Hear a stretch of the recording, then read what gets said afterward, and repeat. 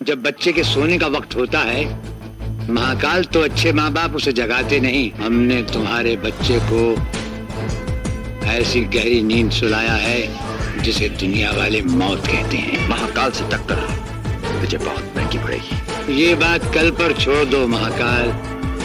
हमने मौत की डायरी में तुम सबकी मौत का वक्त अपने हाथ की एक उंगली से लिख दिया है। तुम तीनों अपने अपने मोहल्ले के कब्रिस्तान में दो दो गज ज़मीन अपने लिए मकवा लो।